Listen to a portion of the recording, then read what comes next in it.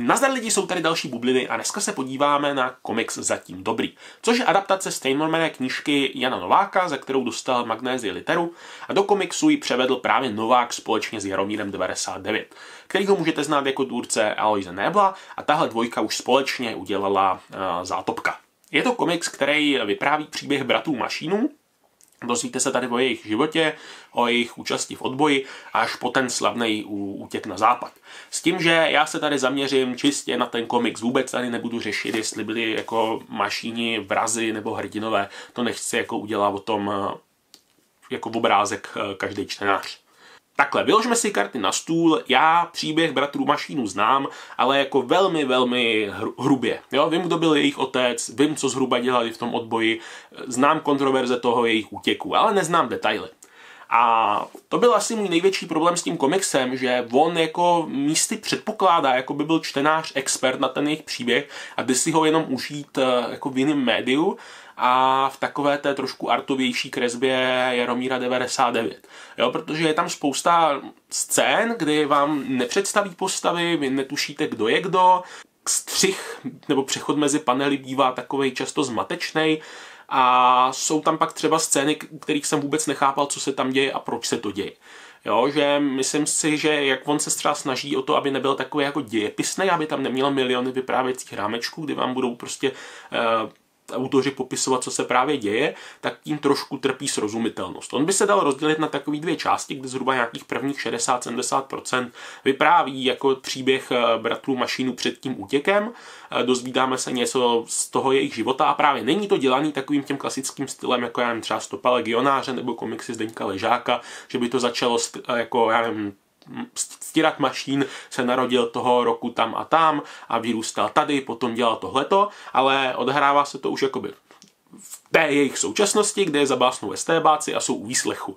A prolíná se tam jakoby ta to, co on vypovídá s jeho reálnýma vzpomínkama a do toho je tam zobrazená naprosto výborně ta beznaděj a jak ho psychicky mučí. Ale díky tomu, jak je ten komiks právě takhle jako rozsekaný a chvilku skáče semka, chvilku skáče tamhle, eh, do toho tam jsou ještě dva bráši, takže se prolínají jakoby jejich životy a co dělal ten a co dělal ten, tak to vyžaduje mnohem větší jako pozornost od čtenáře a místy se v tom ztratíte.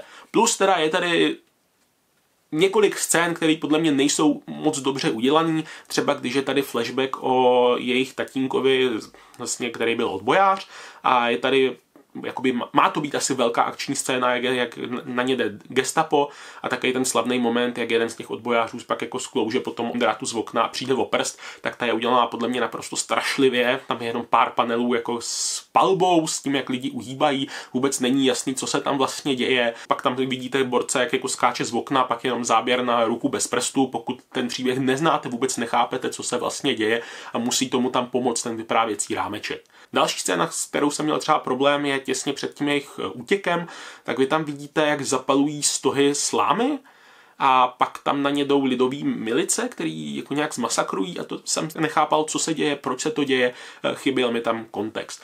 Eh, stejně když pak teda přichází k tomu velkému dramatickému útěchu, tak se tam najednou s mašínama objevuje spousta dalších postav, které nebyly dostatečně představený, vůbec jsem nevěděl, kdo to je, proč s něma jdou, jaký jsou jejich cíle, nebo dobře, jako někdo asi z nich byl, ale ne všichni a často jsem v tom komiksu strašně tápal.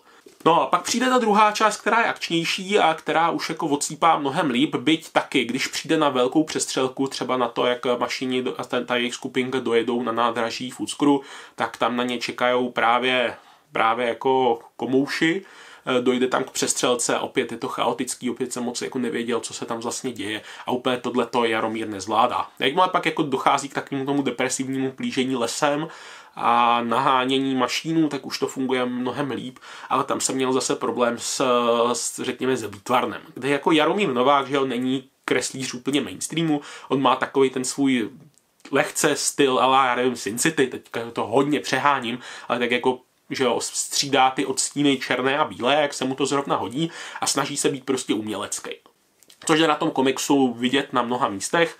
Někde to funguje skvěle, což je třeba případ té vyslíchací stanice, někde to naopak eh, trošku jako drhne v té srozumitelnosti. A strašně zvláštně je tady dělaný coloring, u kterého se přiznám, že jsem ho vůbec nepochopil. Z nějakého důvodu jsou postavy, které tam vystupují, občas takový jakoby růžový.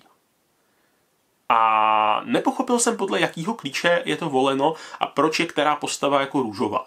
Když si třeba otevřete hnedka úvodní stránku a oni tam jsou na nějaké odbojové schůzce, tak si tam všimněte, že tam si jako sedí, sedí postava, která je jako na prvních panelech růžová, pak zase najednou růžová není a na další stránce zase růžová je.